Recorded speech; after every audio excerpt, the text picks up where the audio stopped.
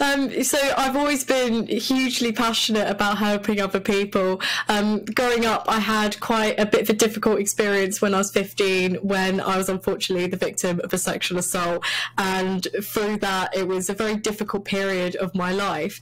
But I think with that, it, it sort of it, it, gave me some sort of like inspiration um, to keep going with my work. So the NSPCC reached out to me and they offered me to apply to be a national ambassador of their organisation, and they do incredible work with championing the voices of young people and getting their voices heard and forming campaigns and policies all designed to help young people. So when they reached out to me, um, I accepted and I went with that, and I had incredible opportunities to get involved with their campaigns. And when I started doing it, I realised, you know, I really enjoy this, and um, starting that from quite a young age, it really helped me, um, you know, find my voice again and be in a position where I can help other people. So after doing that for several years, I started getting involved with other organisations as well, um, including Childline, but also the National Children's Bureau, the British Youth Council. I was a member of UK Parliament for Medway,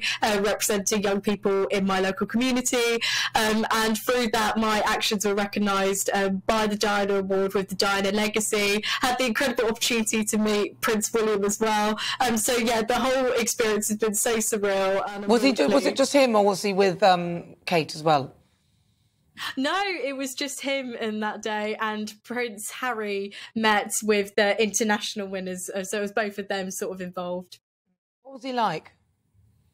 Oh, he's lovely to talk to. Um, he really took because there was um, ten of us in the room, and he really took time to talk to each of us and get to know the kind of work we did. Um, very down to earth, and really took an interest in our lives and what we had and what we did. Um, so yeah, really lovely person. You said Harry was there as well. Yeah.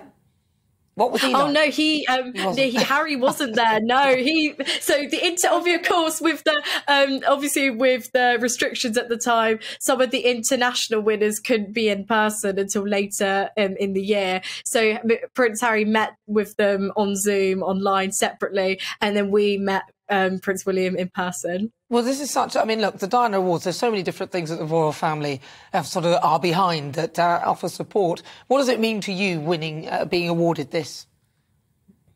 Um, it was genuinely such an honour to have been awarded because I, when you obviously get involved with this sort of work, you never expect any uh, recognition because that's not the reason you do it. You do it because you're passionate and you really enjoy the work that you do. Um, so actually to have received that was such a shock, but it, I genuinely was so pleased to have been recognised. And I guess having that recognition was only, you know, just an